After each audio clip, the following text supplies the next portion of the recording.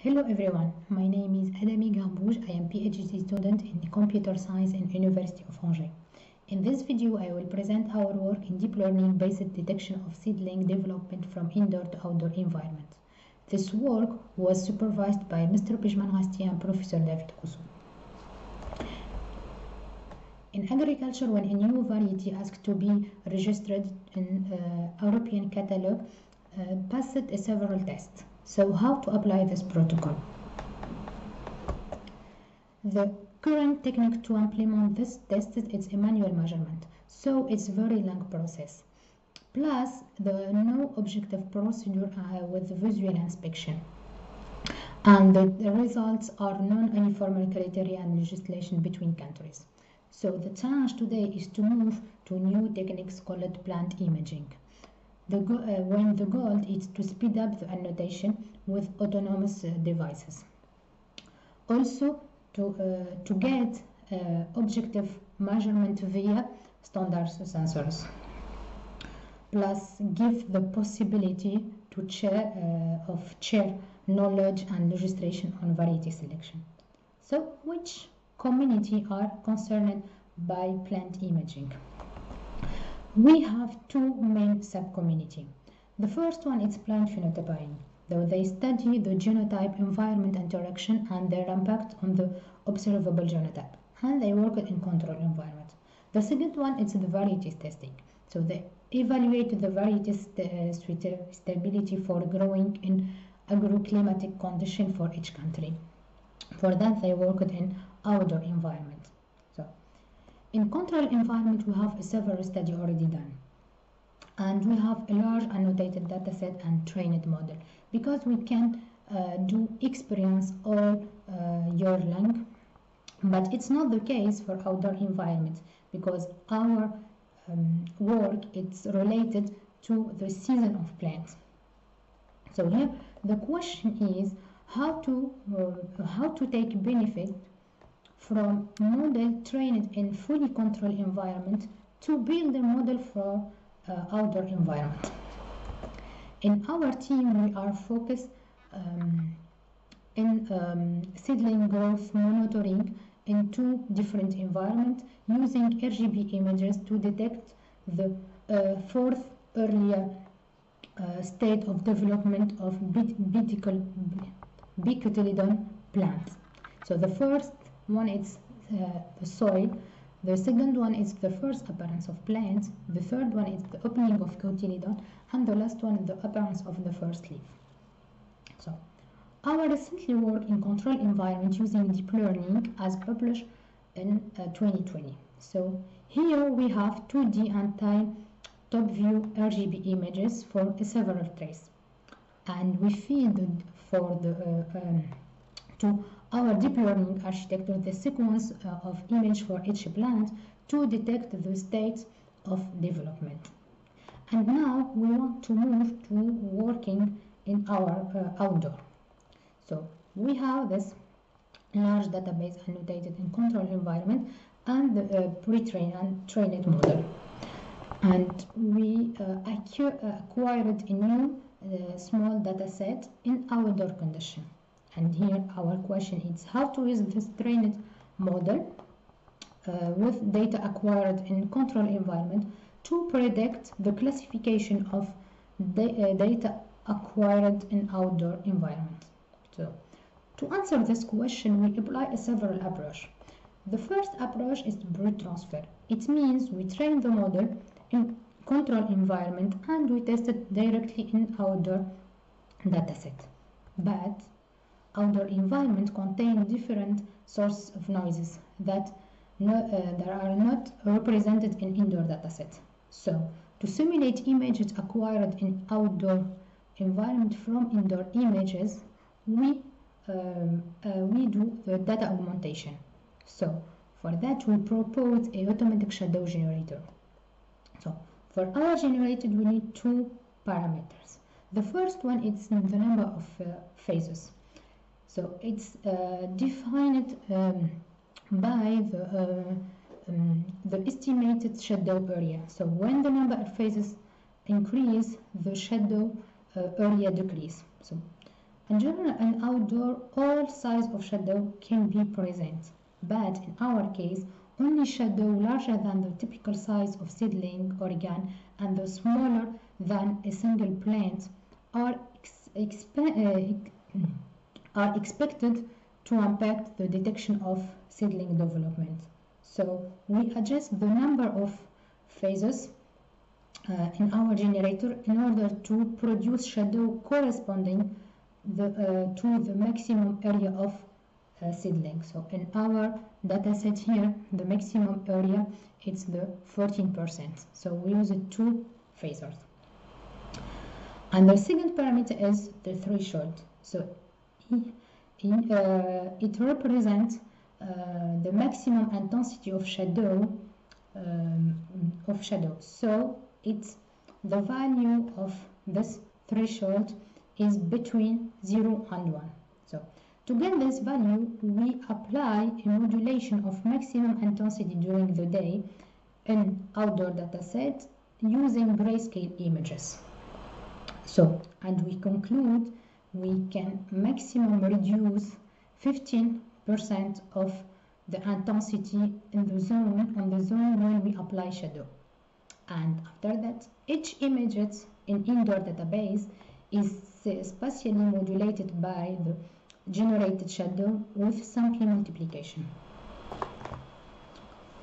So, and for the third approach, we try to add real data in our training model. For that, we pre-trained model using the synthetic uh, data set, and after that, we transfer weights to train and to fine tune, uh, fine it a model using some uh, part of real data and after that we predict in real data. To apply this approach we tested several deep learning architecture. In the beginning we shortly recall the deep learning network, uh, neural networks used in Salma's work. The, the first architecture is the basic CNN architecture performed, uh, performing four classes to discriminate between images. But this architecture does not embed any memory of uh, about the growth process. But in plant method article, we uh, demonstrate the added value uh, to embedded memory uh, using CNN LSTM. So, to enrich the investigation on memory, we added two new neural network. So we tested gated uh, current unity. It's another uh, alternative to LSTM, which has been demonstrated to coverage more quickly.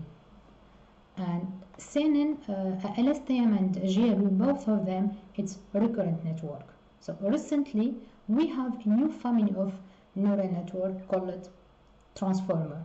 So in the beginning, it's used for uh, for na uh, natural language processing, and in 2020, the transformer has been expected to process of, um, in images. So where images were analyzed in a mosaic of some part of the original images, uh, creating, uh, creating the artificial time series. So in our case, we directly have the meaningful of uh, subparts of the original images which corresponding to consecutive images for, of the same input. So we don't uh, use the subpart of each images, we use it as some part one images. So let's now see the results of the two new um, trans, uh, two new uh, network in the indoor uh, images. So as we can see here, the TD, CNN, GRU and the um, proposal transformer models improve the results. So also, so it's uh, for a possible uh, a possible inter, uh, interpretation for uh, is uh, in that is in TD, CNN, and the transformer, uh, the time and the space are stacked and processed in the same time. So we have a parallel process. Where, where it's not the case for CNN LSTM because first they process the space and after that they process the time in the sequence way. So, so now we investigate how to uh, performance of these models evo uh, evolve when the models uh, that when these methods um, are applied in outdoor condition. So for this experience, we select the memoryless CNN models and the, the best time-dependent uh, neural network models. Let's start by the spatial method, is the CNN architecture. So, as we can see here, the first line is the results of training CNN with only outdoor images. So, there is, uh, the performance uh, in brute transfer show an important decrease for the performance. So, but when we add a data augmentation, we increase the results to 10%. But here with fine tuning, we can get uh, um, uh, the, our performance uh, up to 21%. So when you use just 7 pods because if you see here in this curve it's the classification accuracy as a function of number of pods, uh, using uh, in the training so we can see here with just 7 uh, pods we can um, have 21% of accuracy and also we can compare the results of CNN in indoor um, in indoor uh, dataset with uh, the CNN in outdoors uh, dataset and we and we can conclude the results it's better in outdoor condition than indoor condition with CNN. So now let's see the results of uh, spatial uh, temporal methods. So here we can see yes we have some improvement when we add the data augmentation compared to brute transfer but also the results in fine tuning we have a little bit improvement but it's not that much as CNN models because if you see here with CNN we have 20 uh, have 91% uh, compared to 74% or 76% so let's compare CNN and uh, the uh, spatial time methods in indoor to indoor so we um, we demonstrate in indoor the performance uh, using um, using um, uh, transformer and TD CNN GRU. It's better than CNN, but it's not the case for outdoor environment. So several parameters can, could influence the temporal information from indoor to outdoor. One of them is the difference of growing condition maybe have influenced the kinetic uh, to pass it from one uh, development stage to another one. So this is our results. So to conclude, in this communication we have considered the automatic detection of earlier stage in seedling development. And we um, we have uh, we have investigated the possibility to transfer knowledge from indoor to outdoor condition in plant science application using simulation of shadow applied in indoor uh, datasets and a fine tune on a limited amount of data. And we demonstrated in this um, work the presence of shadow in outdoor condition are distorting uh, the added value of time dependence. As a perspective, we can work in a semantic analysis of the statistic to pass it from development stage to another one. Also other uh, sources uh, of noise could be uh, could be included to extend the results of this study. And thank you for your attention.